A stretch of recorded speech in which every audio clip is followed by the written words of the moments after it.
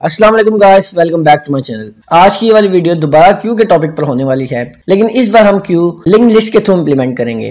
या फिर मैं अदर वर्ड्स में बोलूँ, मैं क्यू को थ्रू पॉइंटर्स इम्प्लीमेंट करूँगा। अब इस पूरे कॉन्सेप्ट को समझने के लिए लिंक लिस्ट का कॉन्सेप्ट समझना नहायत ही ज़रूरी है। अगर आप आपको वो नहीं आता या आप नहीं जानते उसे तो मैंने इसकी एक कंप्लीट वीडियो बना रखी है।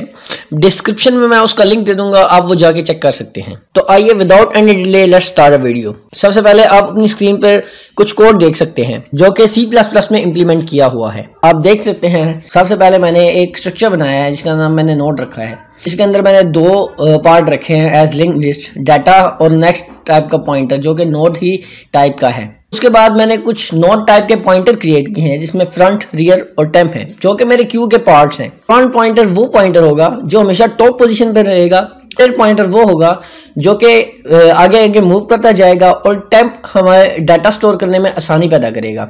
नेक्स्ट अगर आप देखें तो मैंने इंसर्ट का फ़ंक्शन बनाया है, जिसमें सबसे पहले मैंने एक वेरिएबल क्रिएट किया है ताकि इससे मैं डाटा इनपुट ले सकूँ। तो मैंने रेयर को चेक किया है, क्या वो नल है? तो रेयर नल है। तो ये बात सर्टन है कि क्यों में पहले से कुछ मौजूद नहीं है।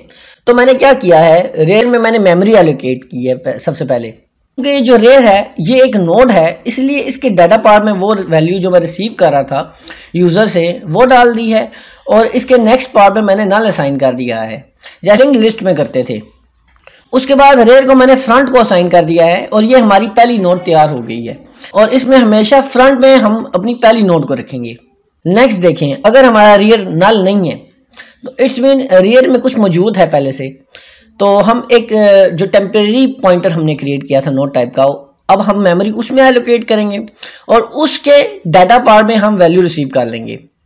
ऊपर आप देखें तो मैंने रेयर के नेक्स्ट पार्ट में नल असाइन किया था। इट्स मीन जो नोट पीछे हमने क्रिएट किया किया हुआ है उसके एड्रेस पार्ट में नल असाइन हुआ हुआ है। लेकिन हमें लिंक लिस्ट के थ्रू क्योंकि इंप्लीमेंट करना था तो हमें नेक्स्ट नोट का एड्रेस उसमें डालना ज़रूरी था। नेक्स्ट अगर आप हम देख, देखें तो हमने रीड के नेक्स्ट पार्ट में उसी टेम्परेरी नोट का एड्रेस डाल दिया है। वो जो नई नोट टेम्परेरी नोट मैंने क्रिएट की थी उसके नेक्स्ट पार्ट में मैंने नल असाइन कर दिया है। और जो हमारा टेम्परेरी टेम्परेरी नोड मैंने क्रिएट किया था, उसको मैंने उसको मैंने रियर को दे दिया है। अब ये टेम्परेरी नोड था, ये रियर बन चुका है। यहाँ पर हमारी इंजर्शन मुकम्मल हो जाती है। हम इससे इजीली नोड में इंसर्ट कर सकते हैं। आगे देखें, मैंने डिलीट का फ़ंक्शन बनाया है, जिससे मैं नोड में से डाटा डिलीट कर सकता हूँ। अब क्योंकि ये क्यू है तो आपको ये बात पता होनी चाहिए कि यहाँ पर फ़र्स्ट इन फ़र्स्ट आउट का कॉन्सेप्ट है। और हमेशा जो भी डिलीशन होगी, वो फ्रंट से ही होगी।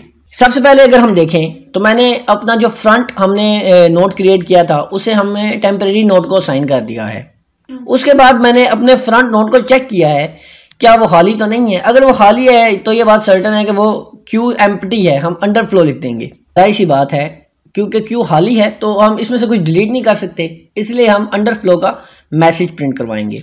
नेक्स्ट एल्स के केस में देखें, अब हम टेम्परेरी वेरिएबल यूज़ करेंगे और हम ये बोलेंगे कि जब तक टेम्परेरी का नेक्स्ट पार्ट है, वो नल नहीं हो जाता, तब तक क्या करो टेम्प को आगे मूव करो।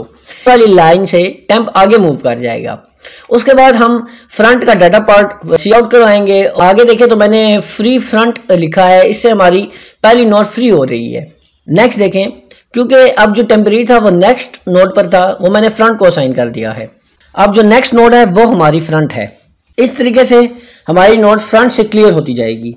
नेक्स्ट देखें तो अपनी क्यू को डिस्प्ले करने के लिए मैंने फ़ंक्शन बनाया है, जिसमें सबसे पहले जो फ्रंट है वो मैंने टेम्प्रेरी को साइन किया है। नेक्स्ट मैंने चेक किया है कि हमारे फ्रंट और रियर दोनों नल तो नहीं है। अगर वह नल है तो ज़ाहिर सी बात है कि वो एम्पिटी है। और अगर ऐसा नहीं है तो हम सब क्या करेंगे? जब तक टेम्प नल नहीं हो जाएगा, हम क्या करते जाएँगे? टेम्प का डाटा पार्ट प्रिंट करवाते जाएँगे और टेम्प को आगे आगे रिवर्स करते जाएँगे। इसी के साथ हमारा डिस्प्ले वाला फ़ंक्शन भी खत्म होता है। आइए मेन में देखते हैं इसको हमने कैसे इंप्लीमेंट किया है। इनमें अगर हम देखें तो सबसे पहले मैंने एक वेरिएबल क्रिएट किया है और चार ऑप्शन बनाए हैं यूज़र के लिए। अब यूज़र सेलेक्ट करेगा कि वो कौन सा ऑपरेशन परफॉर्म करना चाहता है क्यू पर। उसके बाद मैंने वाइल लूप इंप्लीमेंट किया है डू वाइल लूप इंप्लीमेंट किया है। सबसे पहले मैंने उस वेरिएबल में इनपुट लिया है और उसको मैंने स्विच केस में डाल दिया है। स्विच केस में देखें, अगर यूज़र के वन प्रेस करता है तो इंसर्ट होगा। क्यू में इंसर्ट होगा? अगर वो टू प्रेस करता है तो क्यू में से हम डिलीट करेंगे? और थ्री प्रेस करता है डिस्प्ले करेंगे। फोर प्रेस करता है तो प्रोग्राम एग्जिट कर जाएगा। प्रोग्राम क्विट कर जाएगा। और अगर फोर से कोई भी, किसी भी बड़ी वैल्यू तो वो एक इनवैलिड चॉइस होगी। इसी के साथ आपकी क्यू यूजिंग लिंक लिस्ट ख़त्म होती है। आ, वीडियो के मतलब कोई सा भी क्वेश्चन हो आप हमें कमेंट सेक्शन में ज़रूर बताएँ। अगर वीडियो के मतलब कोई भी चीज़ कॉम्प्लिकेटेड लगी हो ज़रूर से हमें बताएँ हम उसका ज़रूर आंसर करेंगे। अगर पसंद आई हो तो ज़रूर लाइक करें शेयर करें चैनल को सब्सक्राइब करें और नेक्स्ट वाली वीडियो तक अल्लाह हाफिज़।